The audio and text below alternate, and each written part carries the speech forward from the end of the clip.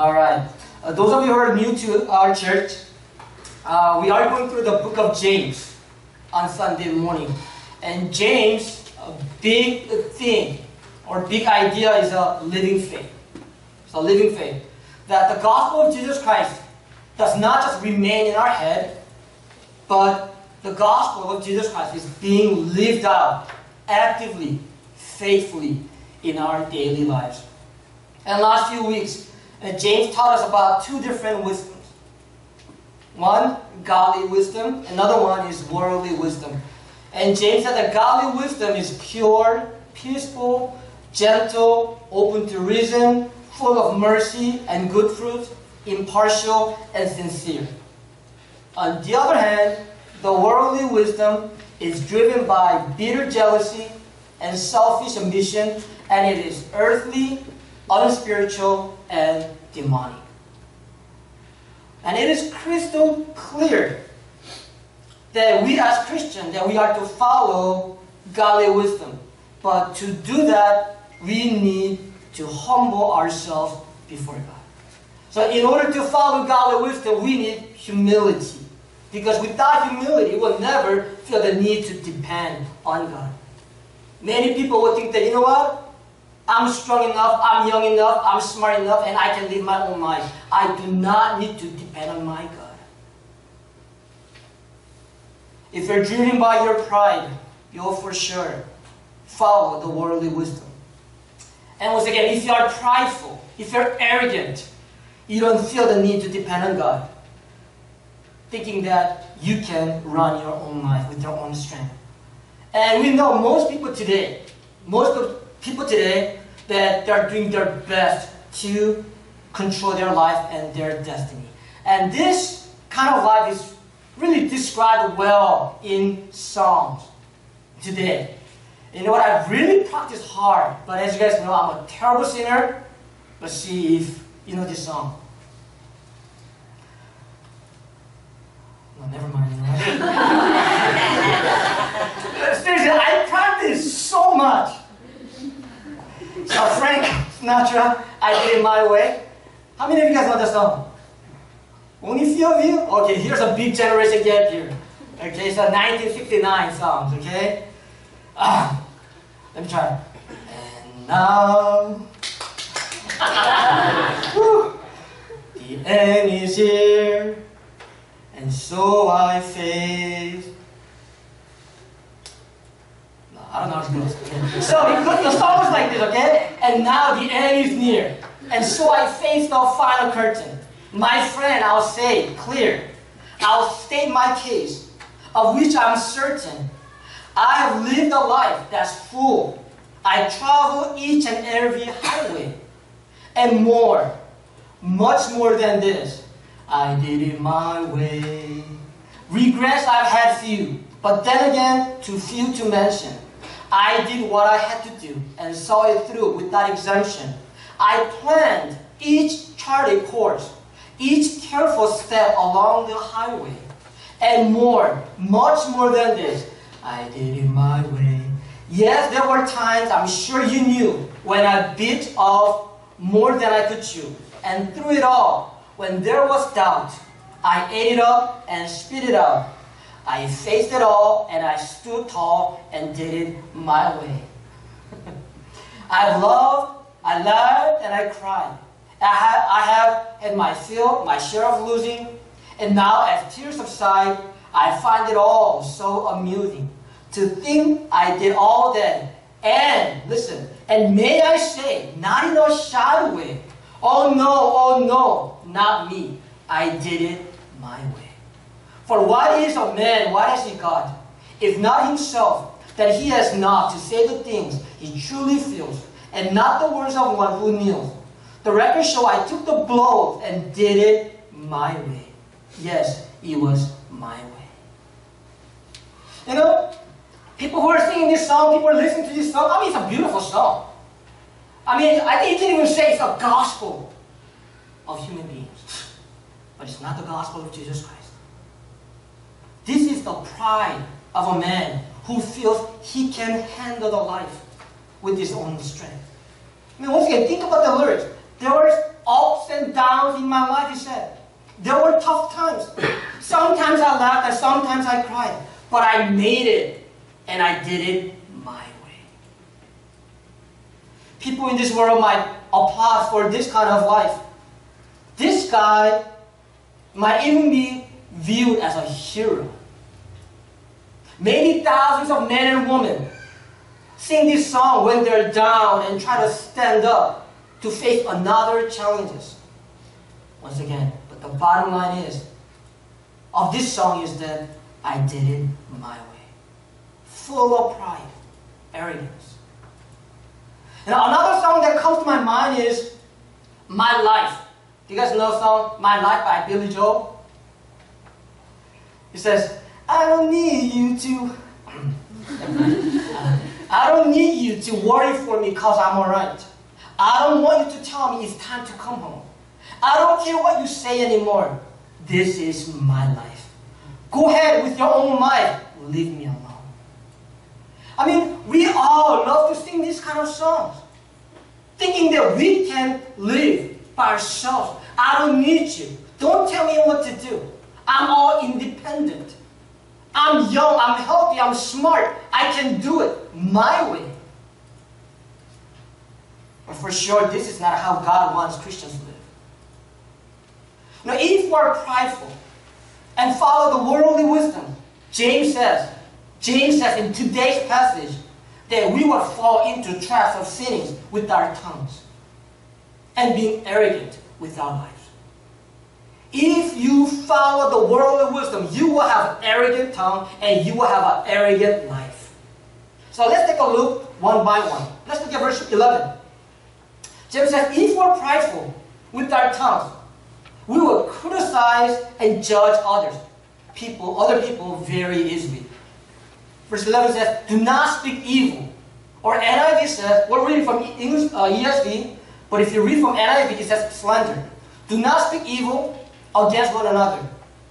The one who speaks against a brother or judges his brother, judges his brother, speaks evil against the law and judges the law. But if you judge the law, you are not a doer of the law, but a judge.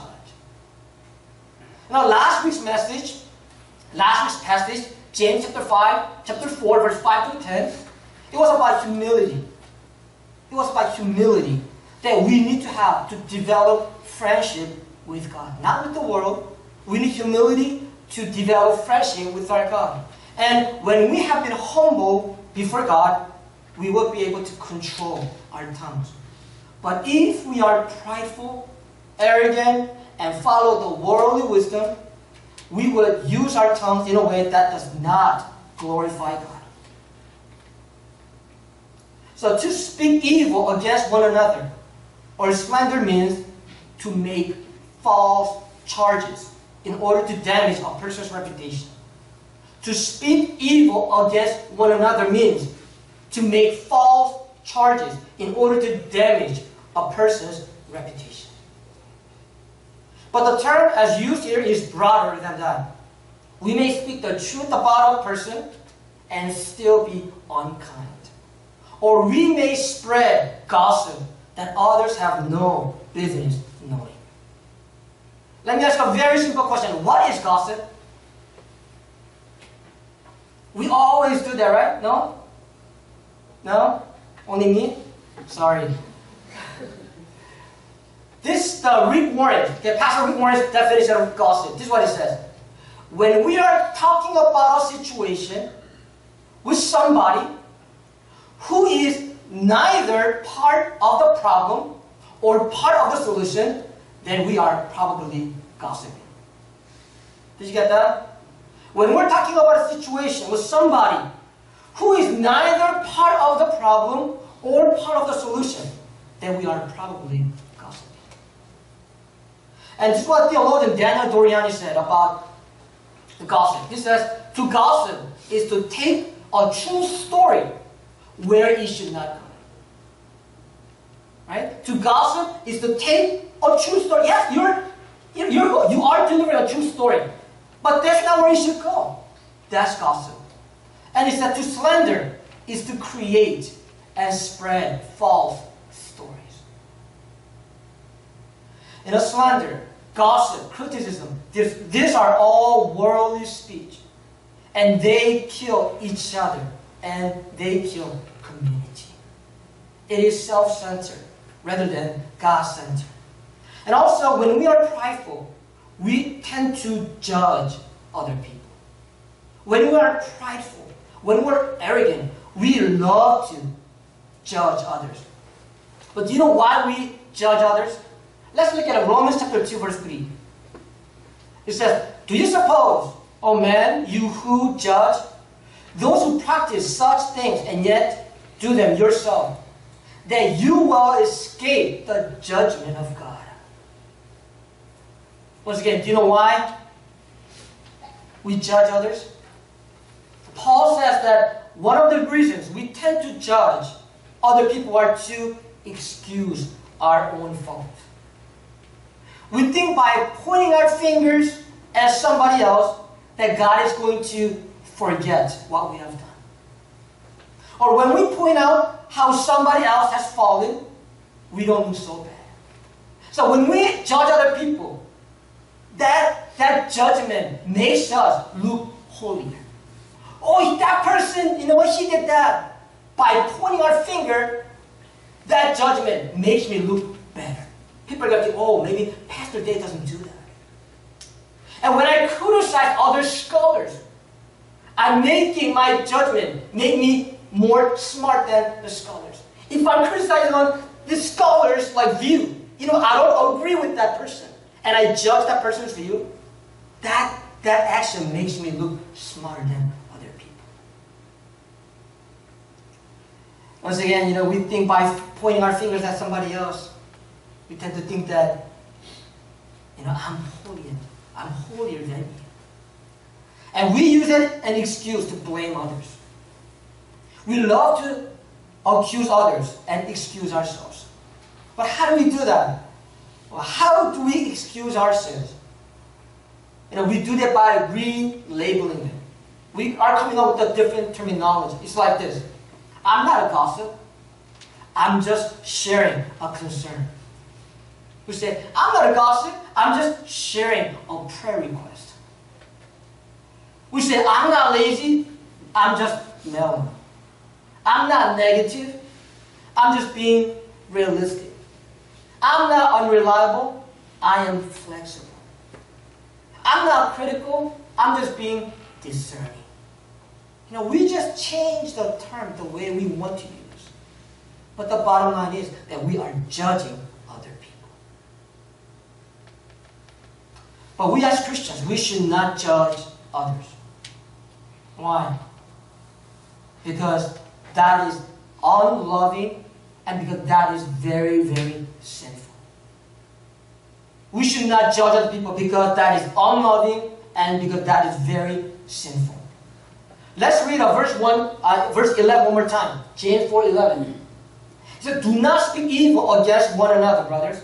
The one who speaks against a brother or judges his brother speaks evil against the law and the judges the law. But if you judge the law, you are not a doer of the law, but a judge. See, when you speak or judge other brothers, you're speaking against the law. James says, when you speak against one another or when you judge other brother, you are speaking against the law. And what law is James talking about here? And what does that mean that, that you are speaking against the law? Well, let's look at James chapter 2, verse 8. If you really fulfill the royal law, the king's law, according to the scripture, you shall love your neighbor as yourself. You are doing well. Know, throughout the letter, James has been talking about loving each other.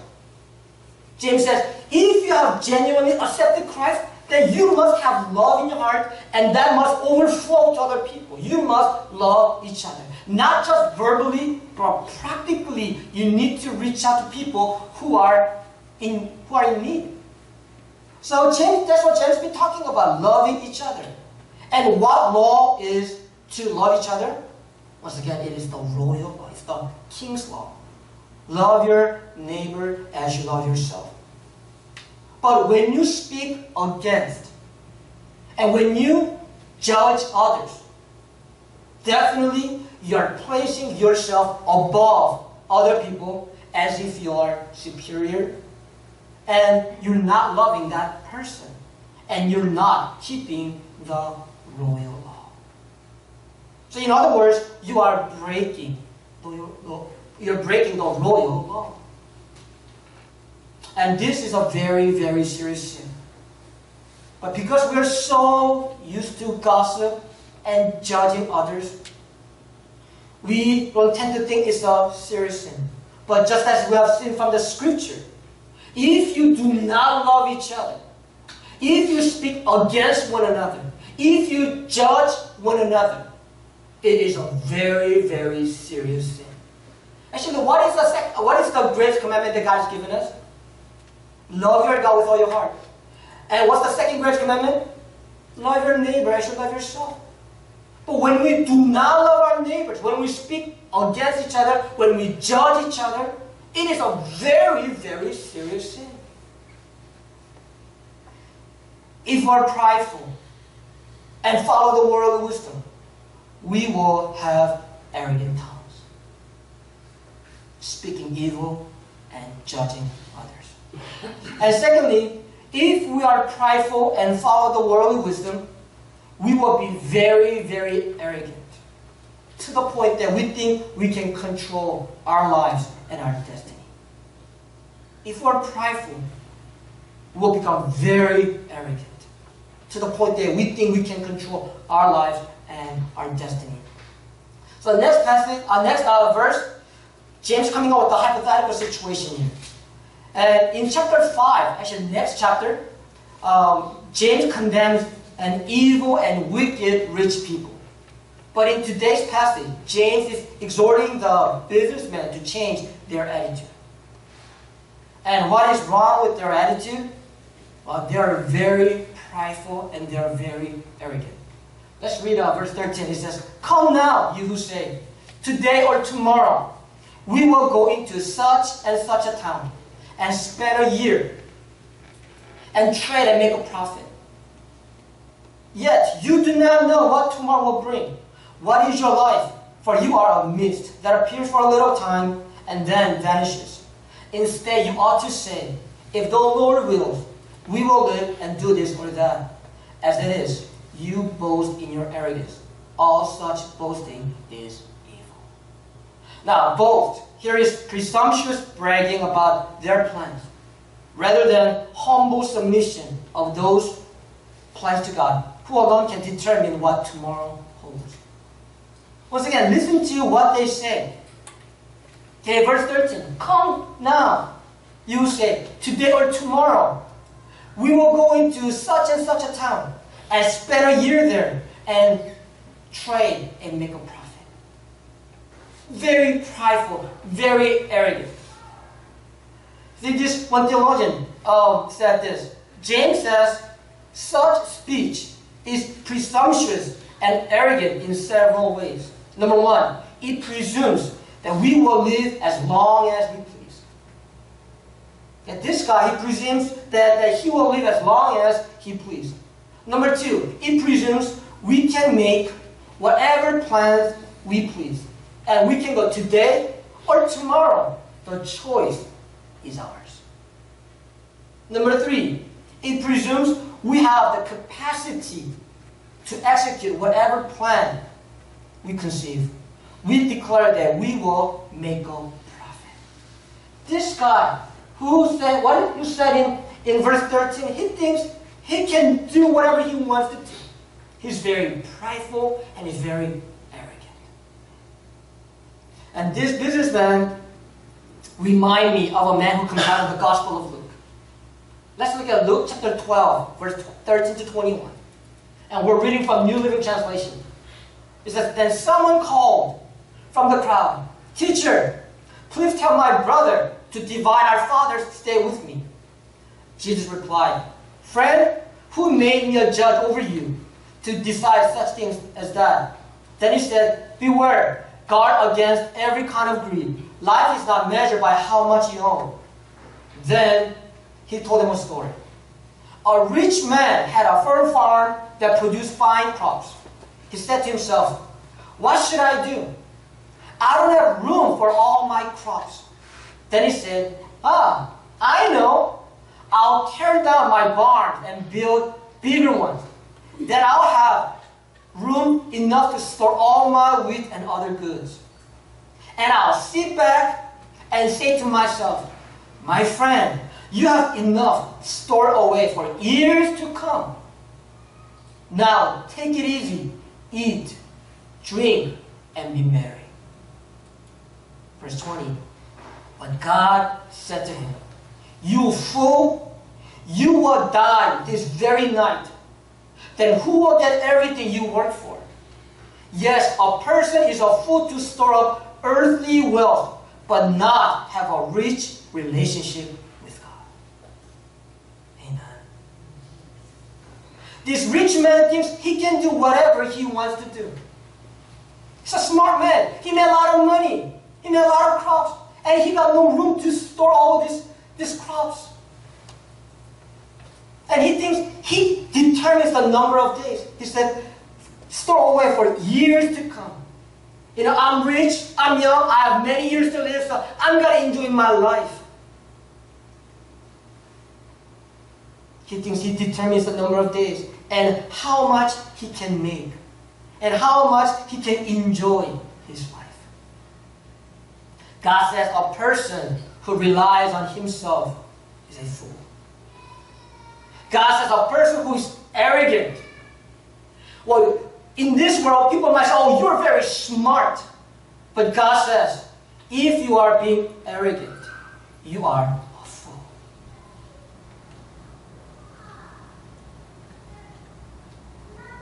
There's a little a story. It's about a woodpecker. This one, one woodpecker, he landed on a tree and began frenetically pecking away. Suddenly, a storm came up and bolt of lightning struck the tree, splitting this humongous tree in half and knocking down the woodpecker to the ground.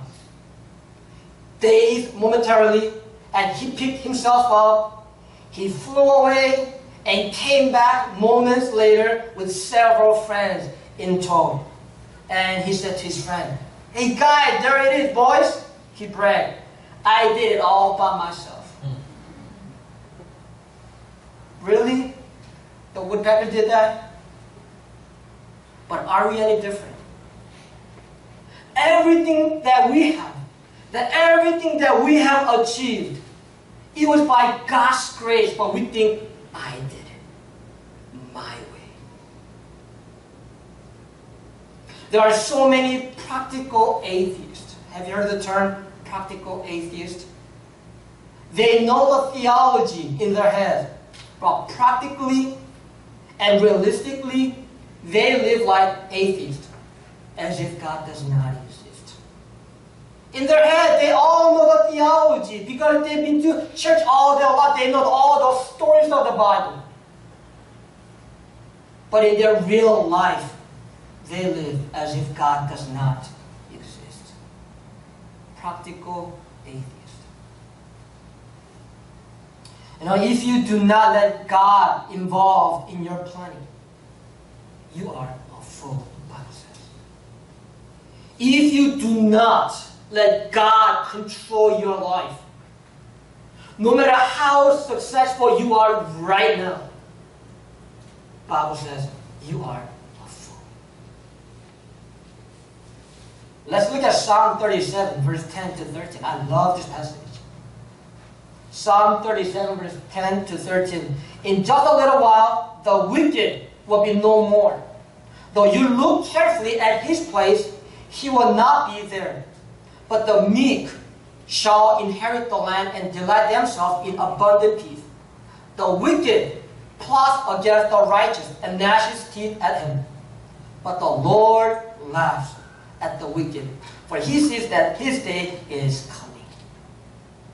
Now, in this song, the wicked, the evil people were planning to get rid of the righteous people. But their plot, their plans would never work. Why? Because God will not let them, no matter how much they try. at their well-planned plots, the Lord laughs. And it's like me, you know, to my youngest daughter. And my youngest daughter, time to time, she tried to trick me. She tried to trick me. But it's so obvious. But she thinks it's going to work. So obvious. So I, I know what she's trying to do. But she thinks it's, it's working. And I said, oh, really? And she thinks it's working. And she gets so excited and she started treating me even more. At the end, what do I say? You fool! no. I said, that's cute. And that's exactly what God is saying. I mean, God is not saying you're cute to wicked people, but God knows their plan. And God just laughs. Human's effort, your effort, my effort, our efforts of carrying out plan, no matter how detailedly planned, if it's not led by God, it is useless. If we are prideful and follow the worldly wisdom, we will be very arrogant to the point that we think we can control our lives and our destiny. But remember this. You must remember this. God has the last word about our lives and our destiny. God has the last word. Right now, of us might be going well with our lives. But if God is not in your life, if you do not let God plan your life, remember, God has the last word about our lives and our destiny. God says those people who are judging, God said in verse 12, there is only one lawgiver and judge, he who is able to save and to destroy. But who are you to judge your neighbor? You're judging other people and you make, you make yourself so holy and you make yourself so, so smart in front of people. But God says, but who are you to judge your neighbor? How about those people who are planning, whose life is going so well? Everything is going so well. People say, wow, that person is so smart. He's a, such a successful businessman, whatever. But God says, what is your life? Verse 14. He says, God said, yet you do not know what tomorrow will bring. What is your life? For you are a mist that appears for a little time and then vanishes. Very scary statement. In this world, people say, well, he's a very powerful man. But God said, you are a mist that appears for a little time and then vanishes. God says, who are you to judge? And what is your life? We are nothing without God. Amen? Everybody, we are nothing without God.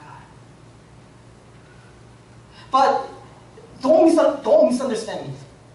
I'm not saying, oh, you know what, God has determined everything. So, you know, I'm just going to just sit back and do nothing and see what God decides to do. No, that's not what James is saying here. Actually, if you read the book of James, there are so many commandments that come out. Right? Do this and do that, and do this and do that. If we don't have to do anything, then why would James give us so many commandments? Remember, James is talking about activity throughout this book. But he's talking about activity that is humbly dependent on the sovereign God of the universe. Every accomplishment and every activity, literally every breath, is acknowledging I'm alive and I'm working only by the sovereign grace of. You need to have a mindset that says, God, I need your grace every single second of my life. And I am dependent on the will of you in every aspect. Of my life. That's the mentality that, that we must have. That I need you. I need your guidance. I need you to walk with me, walk by me, step by step. This world tells us to live like we're going to be here forever, urging us to make our plans, acquire our possessions, and work to build our portfolio. But James says, James tells us to submit to God. Don't live like you are going to be here forever. Instead, live and plan and work like your life is so short and like you don't want to waste it on worldly things. Live like you want to spend your life humbly before the sovereignty of God and ultimately for the glory of God. Now, as you listen to this sermon, I know some of you might be thinking right now, and of course, Pastor Dae, I know God is in full control of my life.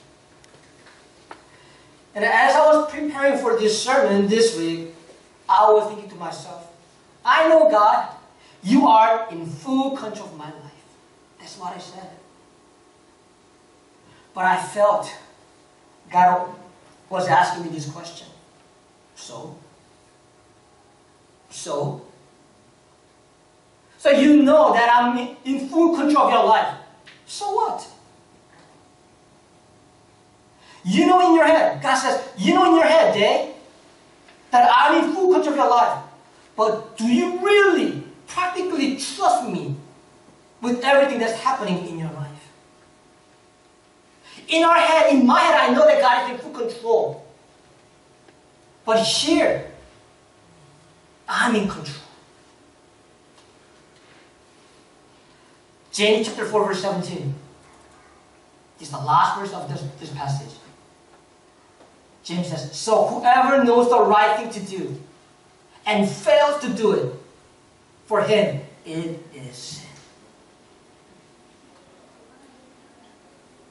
So James just, with just the one sentence, he just nails it. So whoever knows the right thing to do and fails to do it, you know what to do, but you don't do it, it's not a mistake. Bible says it is sin.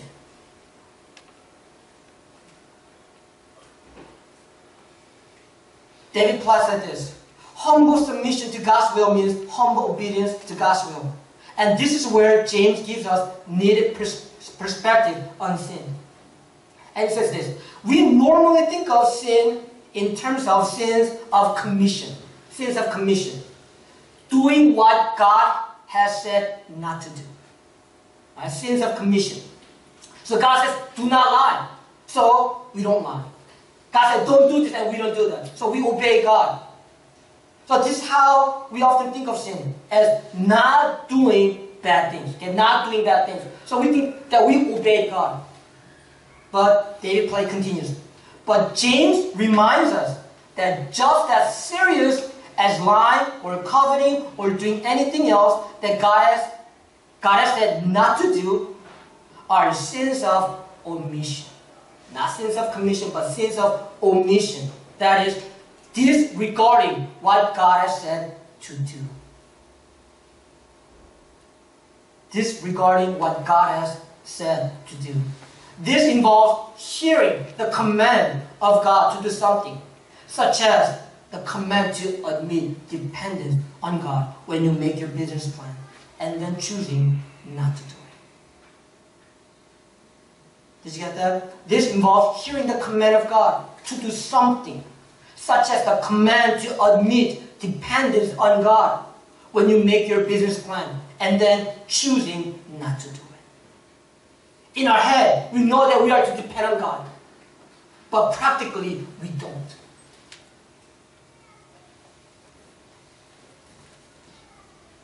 Once again, we all know in our head that we are to trust God and let God lead our lives. But when we don't do that, Bible says it is a sin. Let's humble ourselves before God. That we will not speak against each other and judge other brothers and sisters. And let's humble ourselves before God that we will not be arrogant. Let's always remain in God's Word dwell in God's Word, living in God's Word. And that whatever we do, that we will depend on God and ask God in prayer, in everything. Acknowledging that our lives are short and we cannot control our lives, and then we will fully trust God's love, power, and His guidance. As far ahead. This morning I talked about two things arrogant tongue and arrogant lives. When we are prideful and when we follow the worldly wisdom, we will become prideful. We will become arrogant. And that kind of life will be just manifested so obviously in the way that we speak, in the way we treat other people, and in the way that we plan for our lives. If you're planning without God, please remember if you're planning your life without God, you are being arrogant. And God says it is very foolish. So, whatever that you're planning to do right now, let's bring it before God. Let's pray to God. Let's discuss with God.